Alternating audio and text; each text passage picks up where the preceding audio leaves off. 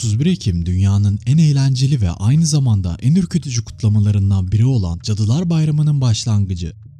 Chelsea her yıl olduğu gibi kutlamaların başlamasına birkaç gün kala Cadılar Bayramı partisine katılmıştı ve bir Batman karakteri olan Poison Ivy kostümü giyinmişti. Parti Amerika'daki Detroit Frenchtown adlı küçük bir kasabada düzenlendi ve bu partiyi organize eden kişi koca Mike olarak da bilinen Mike Williams'tı.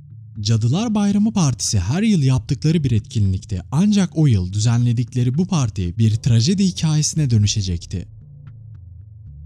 O gün Koca Mike'ın grubu da dahil toplamda 8 metal grubunun sahneye çıkması planlandı. Partiye ise yaklaşık 350 kişinin gelmesi bekleniyordu. Ancak o yıl partiye bu sayının iki katından fazlası katılmıştı. Chelsea 26 Ekim 2014 tarihinde partiye gitmek için hazırlandı ve arkadaşı Becky onu evinden alarak birkaç arkadaşı ile birlikte partiye gittiler. Kostümünün cebi olmadığı için cep telefonunu ve çantasını Becky'nin arabasına bıraktı. Ancak bu Becky aniden partiden ayrılmaya karar verirse Chelsea'nin telefonsuz kalacağı anlamına geliyordu. Chelsea o gün giydiği kostüm için çok fazla zaman harcamıştı ve kostümün üzerinde bulunan yeşil yapraklara kadar her şeyi kendi elleriyle dikmişti. Partide ise en iyi kostüm ödülünü kazanmayı umuyordu. Zaman ilerledikçe Chelsea partide harika vakit geçiriyordu. Ancak parti sırasında fazla sarhoş olduğu için bir direğe çarparak burnunu yaralamıştı. Sonra arkadaşlarının yanına giderek partiden ayrılmak istediğini ve iyi olmadığını söyledi. Gerçekten de iyi görünmüyordu ve direğe çarptıktan sonra yürümekte oldukça zorlanıyordu. Ancak arkadaşları ise henüz ayrılmaya hazır olmadıklarını söyleyerek partide eğlenmeye devam ettiler. Chelsea ise eve gitmek için arkadaşlarını beklemek zorunda kalacaktı. Sonrasında arkadaşlarının yanından ayrıldı ve arkadaşları ise gece saat 1 civarında Chelsea'nin nerede olduğuna bakmaksızın partiden ayrılarak onu orada bıraktılar. Chelsea o gece en son saat 3 civarında bir otoparkta yalnız başına ağlarken görülmüştü. Daha sonrasında ise Chelsea'ye ne olduğunu kimse bilmiyordu. Eklemek isterim ki Chelsea'nin arkadaşları o gün verdikleri ifadede onu partide bırakmanın hayatlarının en büyük pişmanlığı olduğunu ve hayatlarının sonuna kadar pişmanlık duyacaklarını söylemişlerdi. Koca Mike partiden sonraki gün uyandığında Chelsea'ye ne olduğunu bilip bilmediğini soran yüzlerce kısa mesaj aldığını görmüştü. Chelsea'nin kim olduğunu bile bilmiyordu ancak parti sırasında bayılmış olabileceğini düşünerek partinin yapıldığı yere bakmaya gitti. Etrafı kontrol ederken köpeği talihsiz bir şekilde orada yaralandı. Chelsea 28 Ekim'de eve dönmediği için ailesi tarafından kayıp olarak bildirildi ve aynı gün annesi bizzat Koca Mike'ın çiftlik evine giderek orayı aramak istediğini söyledi. Koca Mike ise köpeğini veterinere götürmek zorunda olduğunu ancak ona evi dilediği gibi arayabileceğini söyledi. Mike veterinerden döndüğünde Chelsea'nin ailesinin 15 kişiyle birlikte evini aradığını gördü ve görünüşe göre aile Chelsea bulunana kadar oradan gitmeyi düşünmüyordu. Ancak evde ve arazide hiçbir şey bulamadılar. Koca Mike kızla şüphelerin odağı haline geldi. Chelsea'nin ailesi kızlarının ortadan kaybolmasından Mike'ın sorumlu olduğunu söylediler. Kızlarının muhtemelen bodrum katında bağlı bir şekilde tutulduğunu öne sürdüler. Polis çiftlik evini aramak istediğinde Mike buna izin vermedi ve böylelikle hakkındaki şüpheler oldukça arttı. Ayrıca yalan makinesi testini ve DNA örneği vermeyi de kabul etmedi. Ancak polis bir arama emri çıkardı ve evin her yerini aramaya başladı. Detaylı arama sonucunda ise evde hiçbir şeyi bulamadılar. Aradan birkaç hafta geçti ve Chelsea'nin kaybolması tüm Amerika'da yayıldı. Mike olayı duyan insanların sürekli Chelsea'yi aramak için onun evine geldiklerini söyledi. Hatta bazı insanlar zorla evine girmeye çalışmıştı. Geceleri de dahil olmak üzere evin etrafında sürekli insanların gezmesi ve evi gözetleyebilmek için insanların evin üzerinde drone uçurması Mike'ı oldukça rahatsız etmişti. Kısa bir süre sonra ise bir tanık polise giderek Chelsea'nin o gece partiden bir erkekle ayrıldığını söyledi.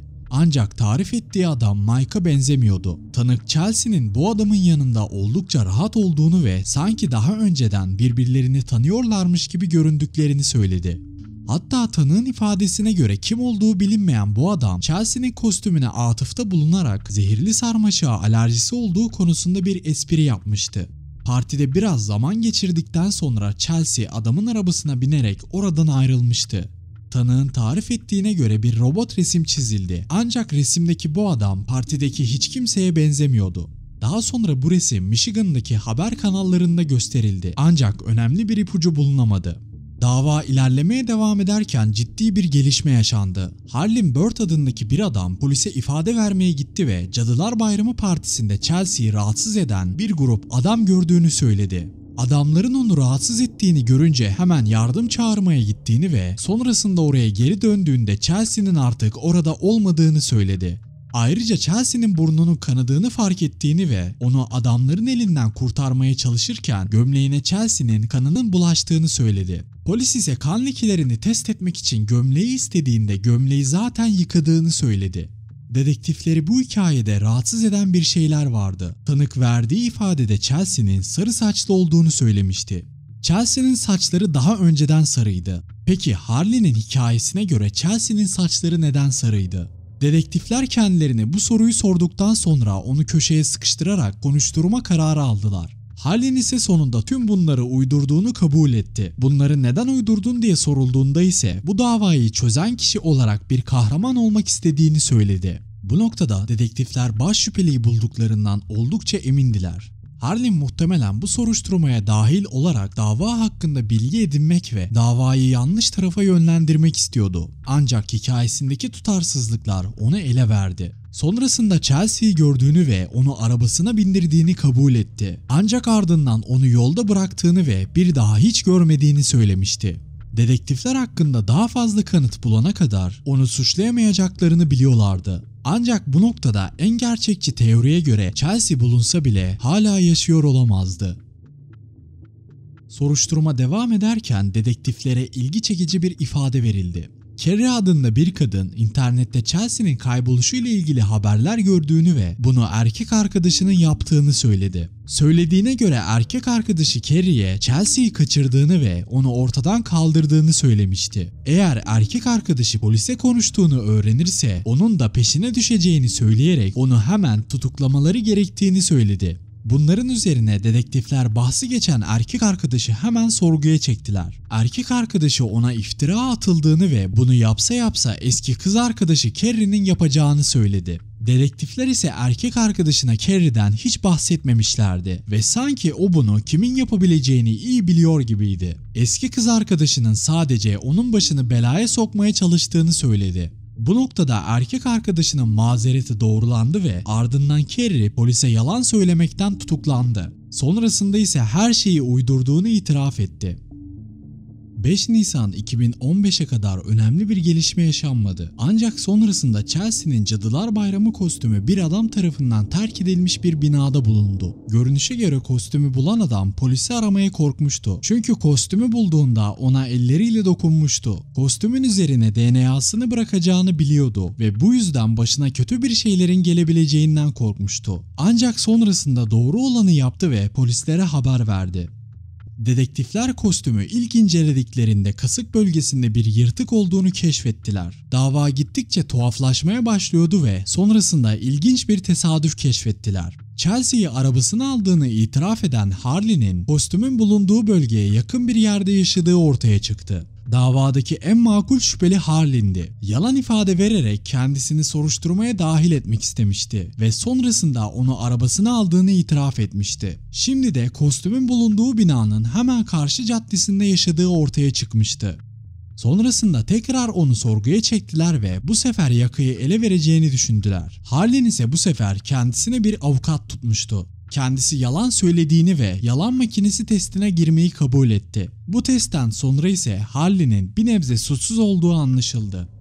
25 Nisan 2015'te o kötü haber geldi. Chelsea'nin cansız bedeni koca Mike'ın çiftlik evinin yakınında yaşayan bir çiftçinin arazisinde gömülü halde bulundu. I'm Priya Man live in Carlton where we have breaking developments in the search for Chelsea Brock. Take a look behind me. Just hours ago, a body was discovered. Çiftçi kendi arazisine yeni bir ev yaptırıyordu ve kazılar sırasında tesadüfen Chelsea bulunmuştu.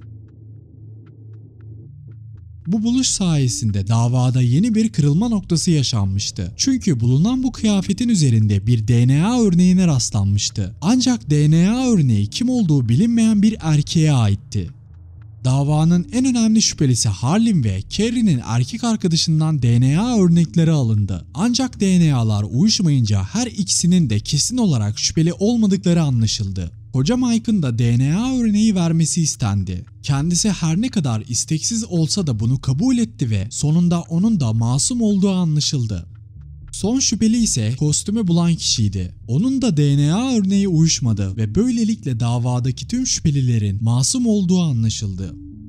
Dedektifler için bu dava neredeyse çıkmaza girmişti. Veri tabanında DNA profilini arattıklarında herhangi bir eşleşme sağlanamıyordu. Ancak sonrasında dedektiflere adli tıptan haber verildi ve yeni bir eşleşme bulduklarını ilettiler.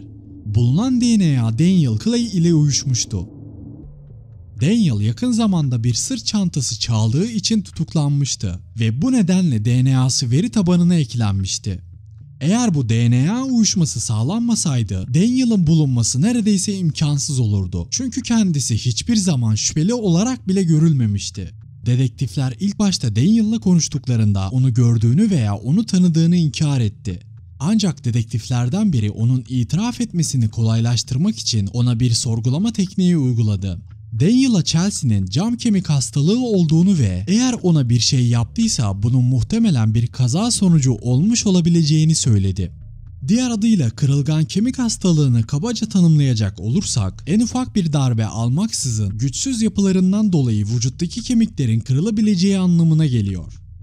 Daniel dedektifin atmış olduğu yeme hemen atladı ve hikayesini değiştirerek Chelsea ile o gece rızaya dayalı bir ilişkiye girdiklerini ve ilişki sonrasında bunun kaza sonucu gerçekleştiğini söyledi. İlişki sırasında Chelsea'nin onun boğazını sıkmasını istediğini ve o da boğazını sert bir şekilde sıktığı için onun nefes alamadığını fark ettiğini söyleyerek bunun hastalığından dolayı bir kaza olduğunu söyledi. Ancak Chelsea'nin herhangi bir hastalığı falan yoktu. Chelsea'nin vücudu incelendikten sonra ise künt kafa travması geçirdiği anlaşıldı. Sonrasında ise onu kendisine getirmek için çabaladığını söyledi. Ardından paniklediği için polislere haber vermek yerine onu arabasına koydu ve bir ormanlık alana atarak oradan uzaklaştığını söyledi.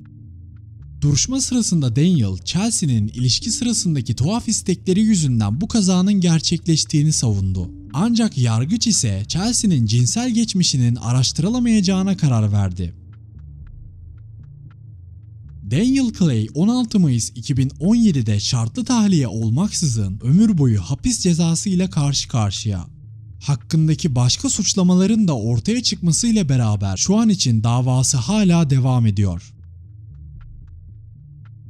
Chelsea'nin yaşamak istediği bir hayat vardı ve henüz daha 22 yaşındayken bu hayat onun ellerinden çalındı.